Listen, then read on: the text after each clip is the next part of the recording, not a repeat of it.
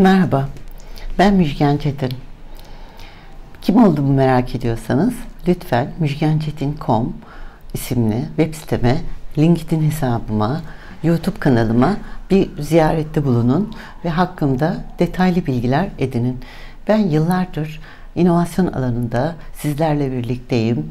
Çok sayıda kuruluşa bu anlamda eğitimler verdim. Onlarla birlikte çok güzel inovasyon projeleri gerçekleştirdim.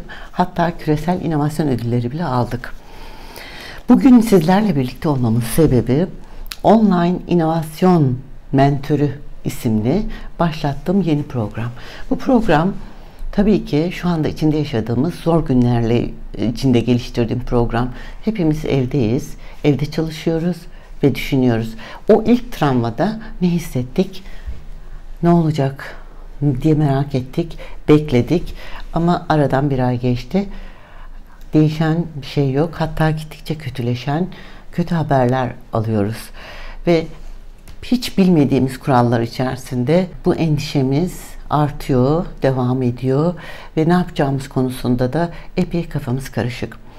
İnovasyonun en önemli özelliklerinden bir tanesi, başlatıcılarından bir tanesi böyle travmatik kırılma anları.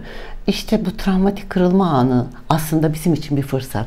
Bu fırsattan yola çıkarak biz de kendi kuruluşumuzu, kendi geleceğimizi yenilikçi yöntemlerle değiştirebiliriz, kurgulayabiliriz.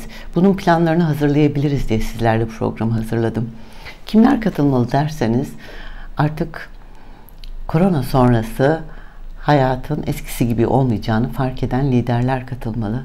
Korona sonrası içinde yer aldığınız sektörün artık mevcut bildiğiniz kurallarla para kazanamayacağını anlayan yöneticiler katılmalı. Korona sonrası kendine yeni bir yol hazırlamak isteyen kuruluşların değerli çalışanları katılmalı diyorum. Lütfen bu konuda bu programa Online İnovasyon Mentörü programının altında kurumsal inovasyonumu yönetiyorum isimli kurumsal programda birebir danışmanlık almak istiyorsanız bana müjgan et sistemyon.com.tr isimli mail adresimden sorularınızı iletirseniz sizlere program hakkında bilgiler vereceğim. Umarım birlikte oluruz ve sizlerin gelecek başarılarına tanıklık ederim. Görüşmek dileğiyle. Hoşçakalın.